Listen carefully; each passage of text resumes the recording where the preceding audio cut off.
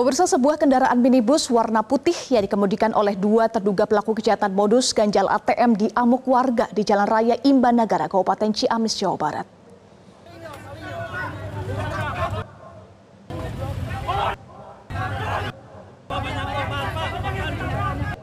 Warga yang geram langsung menghajar kedua pelaku dan bahkan hendak merusak mobil itu. Meski sudah dicegah oleh anggota polisi yang berada di lokasi kejadian.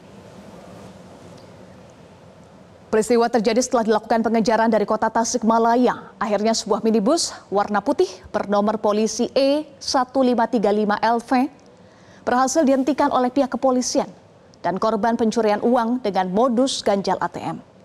Sontak warga yang berada di sekitar lokasi yang tengah menyaksikan langsung menghajar dan merusak mobil yang dikendarai oleh kedua pelaku. Polisi dari Polres Ciamis langsung mengamankan kedua terduga pelaku ke Mapores Ciamis. Namun karena aksi kejahatan berada di wilayah hukum kota Tasikmalaya, maka kedua pelaku yang diketahui berasal dari Lampung dan Pandeglang ini langsung diserahkan ke Polres Tasikmalaya Kota untuk penanganan lebih lanjut. Jelajahi cara baru mendapatkan informasi. Download Metro TV Extend sekarang.